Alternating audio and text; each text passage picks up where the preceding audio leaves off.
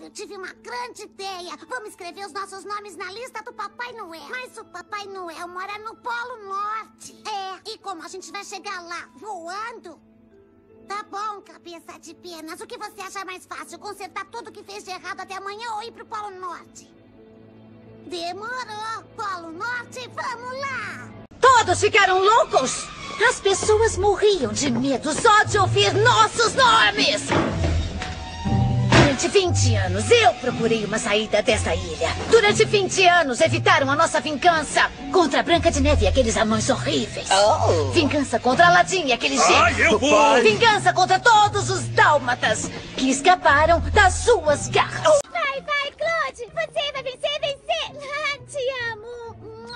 Ah, te amo! Tá pronta pra festa surpresa de aniversário do Claude? Não estragou a surpresa, estragou? Ai, por favor, a última coisa que eu quero é que o Claude saiba que eu tô escondendo alguma coisa dele. Ah, Draculaura, acho que você esqueceu de desligar o celular.